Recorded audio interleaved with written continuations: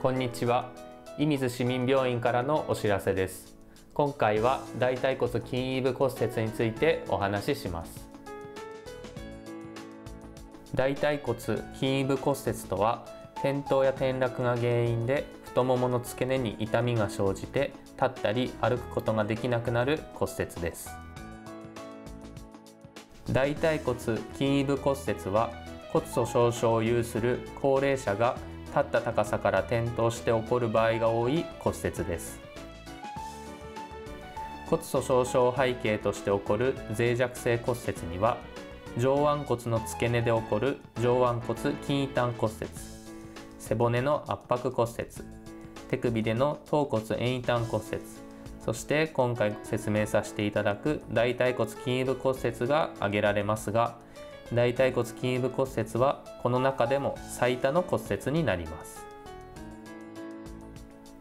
また要支援要介護の原因となってしまう場合も多く高齢化社会に直面する日本では社会問題となっています。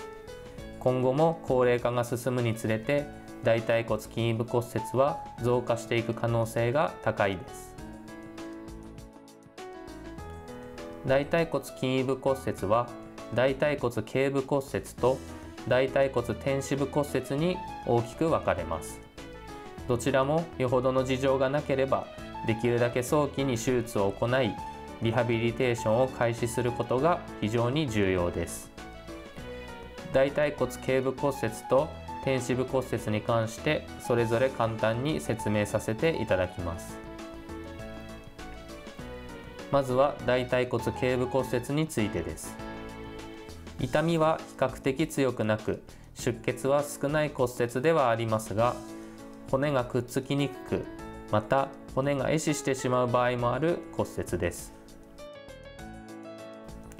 診断は基本的にレントゲン検査で行いますが CT 検査や MRI 検査を必要に応じて追加する場合もあります。大腿骨頸部骨折で骨折のずれが小さい場合は骨同士を金属で固定する骨接合術が選択されます。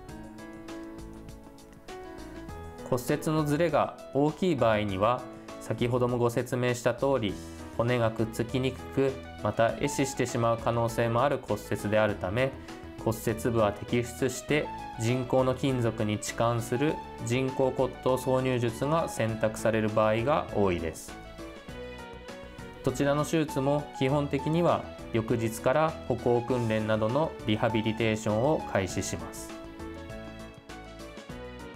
続いて大腿骨天支部骨折についてです。こちらは大腿骨頸部骨折と比較すると痛みが強くまた出血も多いため高齢者では全身状態に関わるリスクもあります。診断方法は基本的にレントゲン検査で大腿骨頸部骨折と同様です。こちらもできるだけ早期に手術を行います。天使部骨折の場合は髄内定という金属を用いる骨接合術が選択されることが多いです。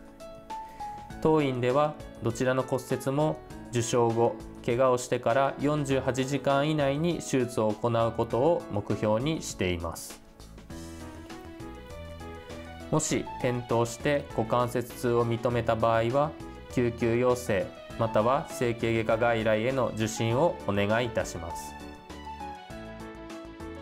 射水市民病院から大腿骨筋異部骨折についてのお知らせでした。